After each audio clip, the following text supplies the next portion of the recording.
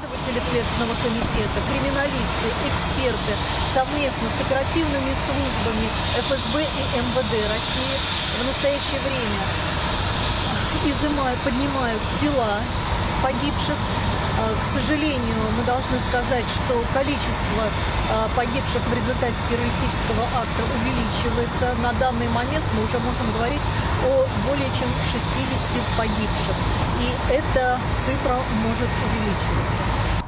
Кроме того, следователи изымают с места преступления оружие, боеприпасы, которые в настоящее время осматриваются, назначены уже и оперативно начали проводиться по оружию, боеприпасам и другим а, вещественным доказательствам генетические, дактилоскопические, баллистические экспертизы.